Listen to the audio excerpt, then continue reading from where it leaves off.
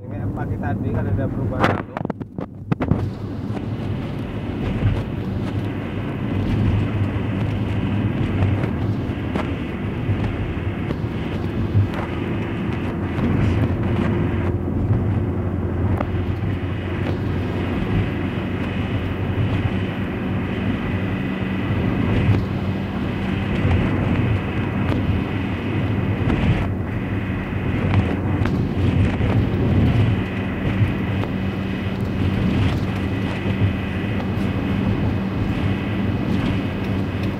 Wardoyo tadi ikut juga Adika lah.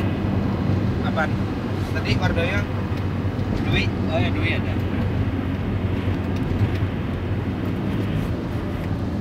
Kampung. Sekretaris DPD Pulang Pisau. Ketuanya Ketuanya Sohibus Sultan.